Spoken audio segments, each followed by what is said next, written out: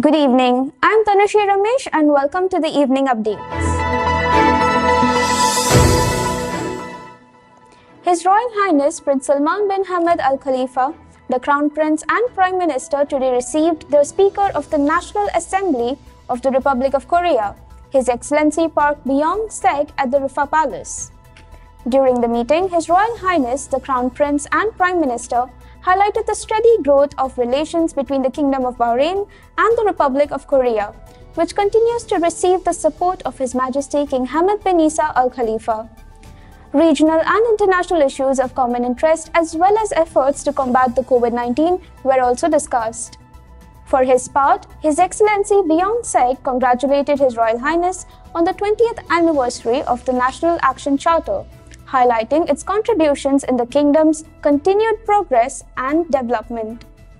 The Speaker of the Council of Representatives, Her Excellency Fauzia Abdullah Zainal, and the Minister of Finance and National Economy, His Excellency Sheikh Salman bin Khalifa Al Khalifa, also attended the meeting.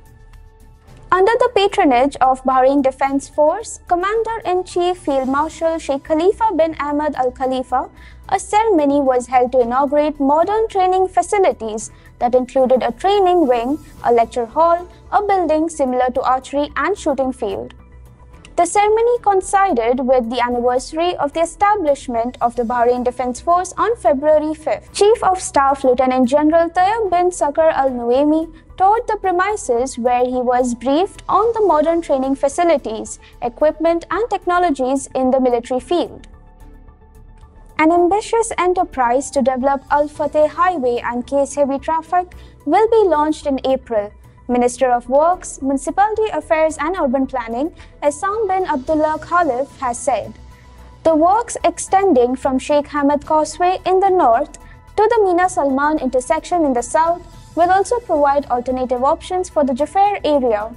The main works will include expanding Al Fateh Highway in four lanes in each direction with the construction of a three-lane tunnel each way at the intersection of Al Fateh Highway with Awal Road and a provision of a ground intersection controlled by traffic lights. They will also feature the construction of an overpass with two lanes for traffic going from north of Manama to Al Fateh Highway to Prince Saud Al Faisal Road in Juffair, while the current intersection of Al Fateh Highway with Sheikh Daij Road will be closed. The Health Ministry has announced the death of a 50 year old Bahraini woman from COVID 19 today.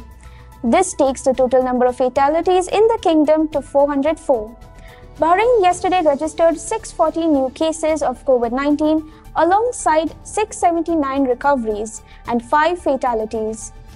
Of the new cases, 272 were expat workers, 356 contact with active cases, and 12 travel related. Of the 7,172 active cases, 142 were receiving treatment and 57 in critical condition. Housing Minister Basim bin Yaqub Al Hamer today received the Member of Council of Representatives MP Yusuf Al Tawadi and discussed with him topics related to Muharraq Governorate's 8th constituency.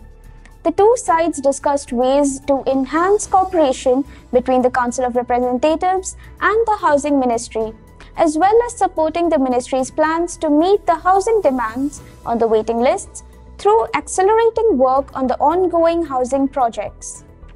They also reviewed the progress of the housing projects in Bahrain's new towns and the ministry's plans to meet the housing demands across the kingdom's governorates, especially Muharraq. The Real Estate Regulatory Authority has taken measures against a number of licenses for non-compliance with the requirements to combat money laundering. RERA has clarified that in an implementation of resolution of 2019 on the obligations related to procedures of money laundering and terrorism financing prevention in licensed real estate activities, violations have been detected by a number of licenses, including some real estate developers who have not complied with RERA's guidelines regarding the National Risk Assessment Report and the filing out of an electronic off-site inspection questionnaire related to anti-money laundering. Investcorp has announced that one of Investcorp's affiliates has acquired a portfolio of 13 multi-let industrial assets in South Wales. The acquisition continues Investcorp's strategy of investing in industrial real estate and represents the first real estate investment in Welsh market. The acquisition marks Investcorp's 11th property investment in the UK since launching its European real estate business in 2017, having consistently grown to the platform and deploying approximately 800 million euros across the European portfolio. This includes acquiring more than 40 industrial and logistics properties in the UK, with a combined area of approximately 4 million square feet. Mohammed Mahmoud Al Khaja has been sworn in as the new UAE ambassador to Israel. Al Khaja took the oath in front of UAE Vice President, Prime Minister, and ruler of Dubai, Sheikh Mohammed bin Rashid. The ceremony comes after the cabinet approved the setting up of an embassy in Tel Aviv last month.